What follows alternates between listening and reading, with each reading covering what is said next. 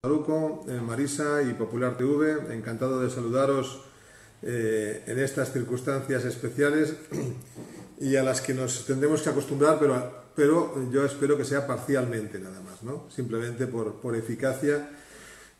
Y bueno, el motivo de, esta rueda de prensa, agradeciendo vuestra, vuestra presencia, es hacer un análisis básico de lo que eh, consideramos está ocurriendo en, en Santander, en la capital de Cantabria, en esta situación extraordinaria eh, como es eh, la pandemia eh, del coronavirus que eh, ha supuesto un cambio radical en nuestro comportamiento, en nuestras expectativas, en nuestra gestión de nuestras ansiedades y posiblemente también en nuestro futuro más inmediato.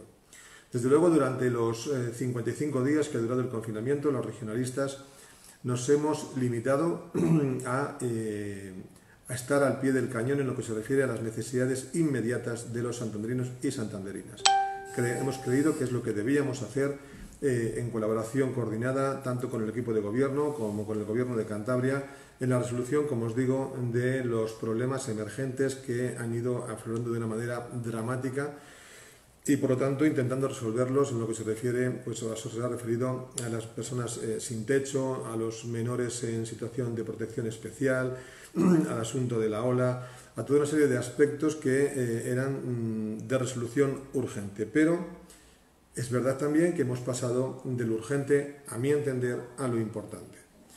Y tras la primera semana de desconfinamiento y entrados ya en la fase 1, el balance que hacemos los regionalistas eh, de cómo se está gestionando la desescalada en Santander, en la capital de Cantabria, por parte del equipo de gobierno, es cuanto menos preocupante.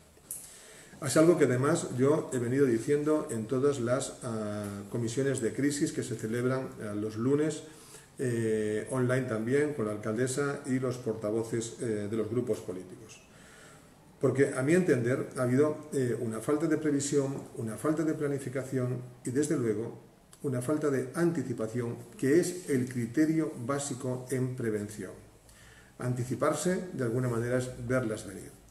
Y siendo el ayuntamiento la institución más próxima al territorio y a los vecinos, desde luego advertidos estaban de que era importante planificar para anticiparse sabiendo además que teníamos un marco de referencia como son las fases, los estadios de desescalada que dan un marco general que nosotros tenemos que ir aplicando en función de las necesidades y realidades de la ciudad de Santander. Andar por la calle, eh, convivir, eh, se está convirtiendo en este momento en una dificultad. La vuelta de la gente a las calles eh, se ha visto marcada por una cierta relajación y sobre todo por eh, la incertidumbre ante el hecho, a mi entender, de que eh, nadie está regulando esta nueva situación ante la inexistencia de una, de una planificación, de un protocolo y la escasa intervención municipal. Los ayuntamientos deben eh, mostrar que tienen capacidad de reorganizar el territorio, de reorganizarse ante las situaciones eh, inesperadas. Y esa adaptación debe permitir recuperar la normalidad. A nosotros eh, consideramos que mantener un orden en el proceso de desescalada hacia, en este momento es crítico.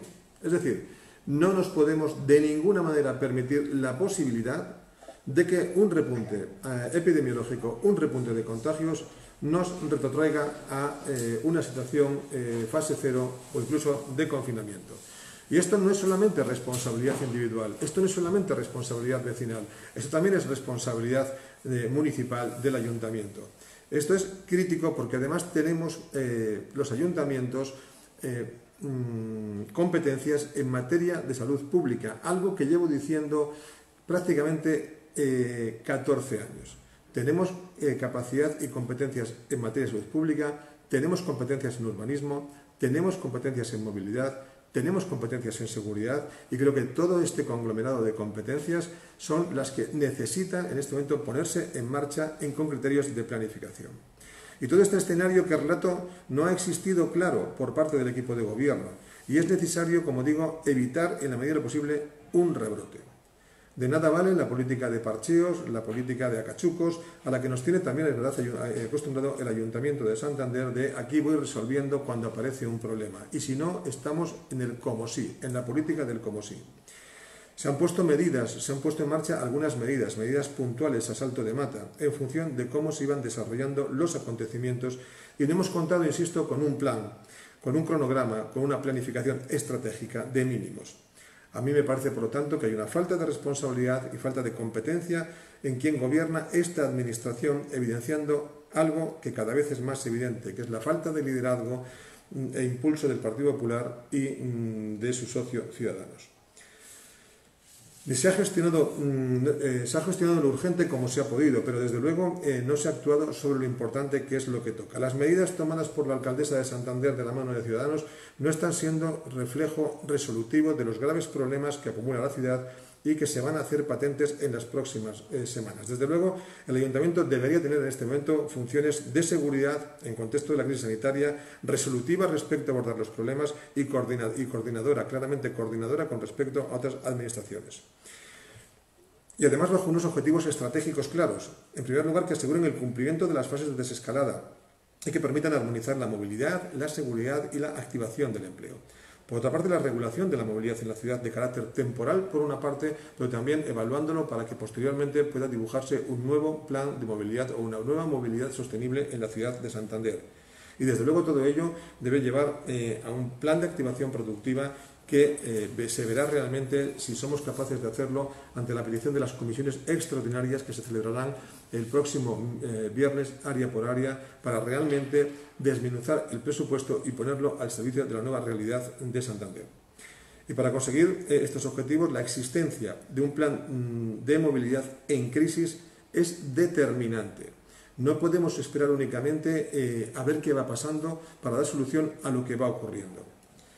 Por eso, nuestro plan de movilidad en crisis, y así se lo hicimos saber también en su momento a la alcaldesa, consideramos que es la herramienta resolutiva y preventiva que genere las pautas de movilidad y que desde luego normalice las conductas de los ciudadanos en lo referente al uso de la vía pública en términos de seguridad y eficacia.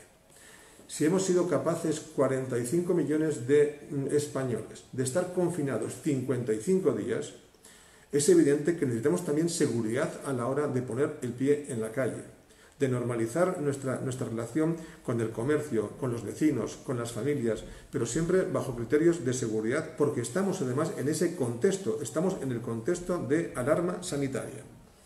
Para ello hay que hacer, o habría que haber hecho, o se puede hacer un estudio del espacio público de la ciudad al objeto de facilitar la relación y la movilidad entre los ciudadanos, respetando siempre el distanciamiento social eh, de seguridad es la distancia, es la, distancia de seguridad el criterio básico de prevención.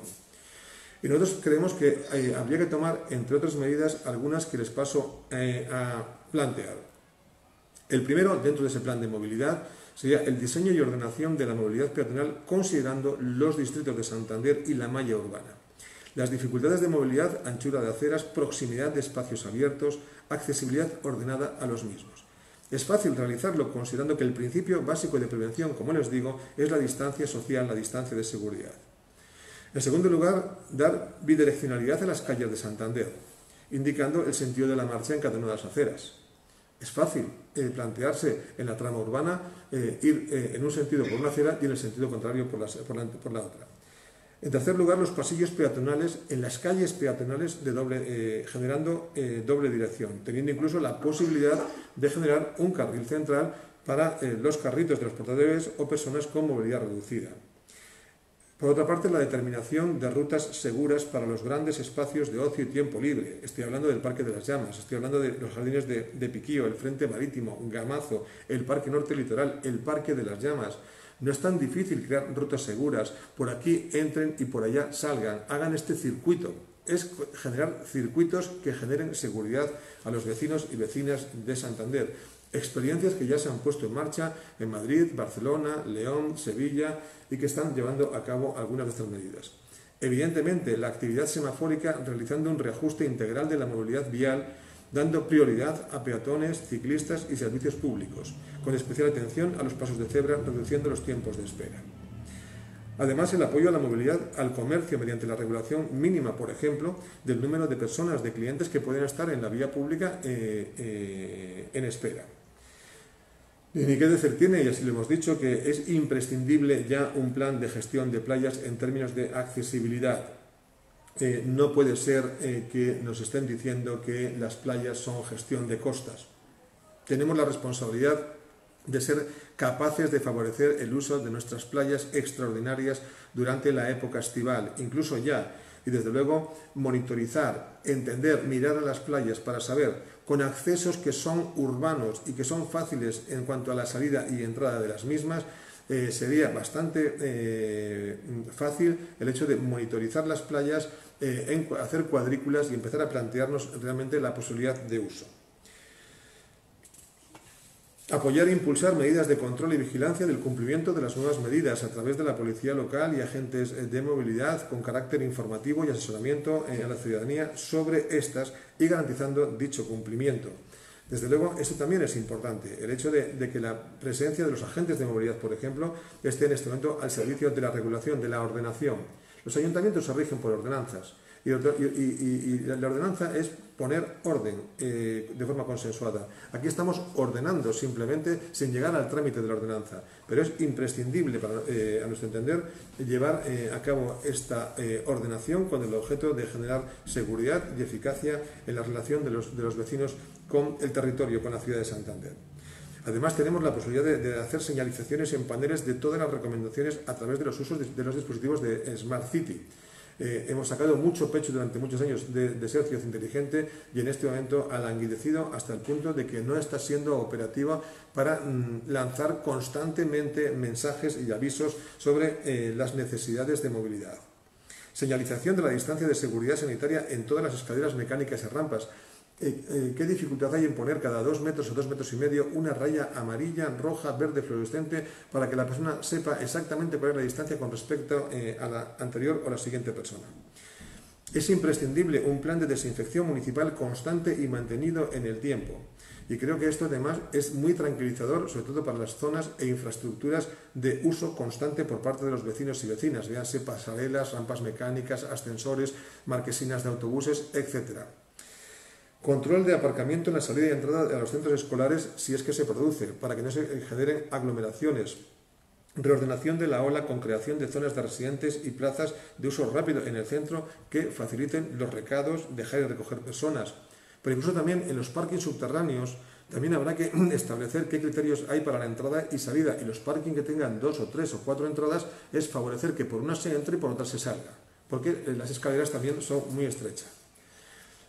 Y también, y, de cara eh, a, un, plazo más, eh, más largo, iniciar de forma inmediata las gestiones para el diseño de los parking disuasorios. Creo que este es un momento crítico, pero también de oportunidad para empezarnos a replantear claramente la movilidad en Santander.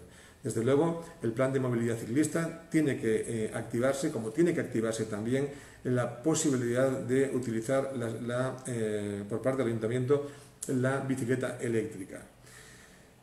Y todo ello tiene que estar encaminado también a un replanteamiento del urbanismo. Tenemos un director de urbanismo, tenemos un concejal de urbanismo y creemos que es imprescindible que en este momento de crisis no solamente mm, estén a la contratación, estén también a mirar la ciudad en crisis justamente para resolver urbanísticamente y en la trama de la ciudad los problemas eh, de movilidad con los recursos y el planteamiento urbanístico adecuado.